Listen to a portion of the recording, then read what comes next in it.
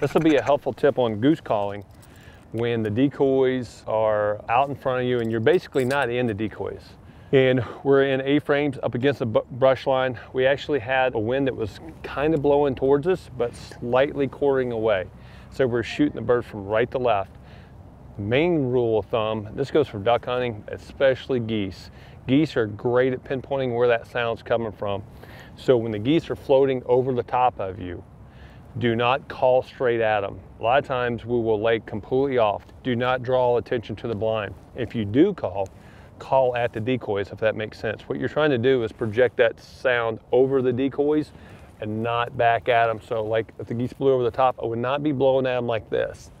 As they float over, they can pinpoint us, look down into this blind, a lot of times see us. So you'll see us when we're calling, we get the geese turning, as soon as they cup up and they're coming over us, we lay off the call, allow them to work out, and then start blowing at the decoys. We're trying to project that sound out over the decoys.